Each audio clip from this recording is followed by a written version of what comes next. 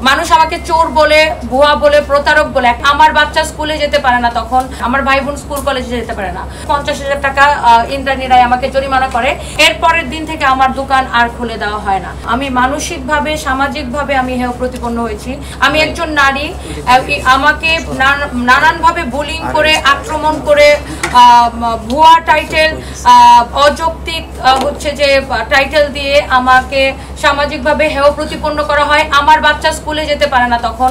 আমার ভাই বোন আমার বাবা নাই আমি আমার ভাই বোনের গার্ডিয়ান আমার ভাই বোন স্কুল কলেজে যেতে পারে না।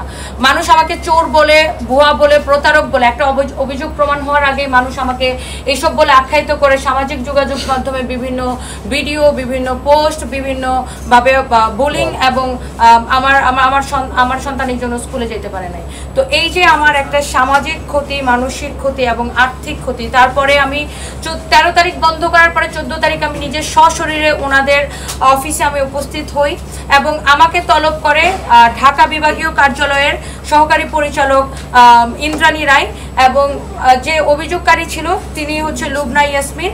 ওনার অভিযোগের প্রেক্ষিতে সর্বোচ্চ জরিমানা সর্বোচ্চ জরিমানা হচ্ছে পঞ্চাশ হাজার টাকা ইন্দ্রাণী রায় আমাকে জরিমানা করে। কিন্তু আমি জরিমানা দিলাম, আমি টকশো করলাম। তারপরে কোনো এক অদৃশ্য কারণে আহ, এর পরের দিন থেকে আমার দোকান আর খুলে দেওয়া হয় না।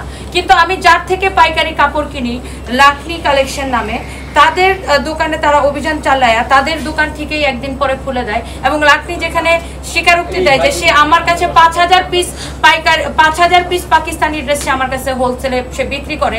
তো সেখানে লাকনির দোকান খুলে দেওয়া হয় একদিন পরে। কিন্তু আমার দোকান কোনো এক অদৃশ্য কারণে কেন জানি খোলা হচ্ছে না যেখানে আমি জরিমানা দিয়ে দিচ্ছি জরিমানার পরে তারা তদন্ত কমিটি গঠন করে। যদি তদন্ত কমিটি গঠন করতে হয়, সেটা জরিমানার আগে করবে। পরে কেন তদন্ত কমিটি গঠন করা হলো? এবং লাকনিকে খুলে দেওয়া হলো, আমাকে খুলে দেওয়া হচ্ছে না। আমাকে দিনের পর দিন ঘুরানো হচ্ছে। এবং ওনারা যে দশটা শর্তের কথা বলল, সে দশটা শর্তের উত্তরও কিন্তু আমি তাদেরকে চিঠির মাধ্যমে এবং আমার যে ডকুমেন্টস যারা চেয়েছে ডকুমেন্ট সহ কিন্তু আমি ওনাদেরকে জমা দিয়েছি এবং আমি এটা আমার আইনজীবীর মাধ্যমে আমি হাইকোর্টেও আমি এটা জমা দিয়েছি।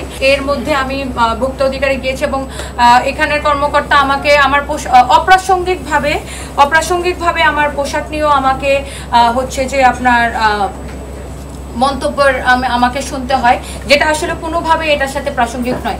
যেখানে মাননীয় প্রধানমন্ত্রী নারীর স্বাধীনতা নারী উন্নয়ন নারীর কর্মসংস্থান নারী উদ্যোক্তা তৈরির জন্য এত কাজ করছেন যেখানে তিনি স্বয়ং আমাদেরকে অবয় দিচ্ছেন তাহলে কি আমি বলতে চাই নারীর পোশাক নিয়ে মন্তব্য করে ওনারা কি মৌলবাদিতার পরিচয় দিচ্ছেন?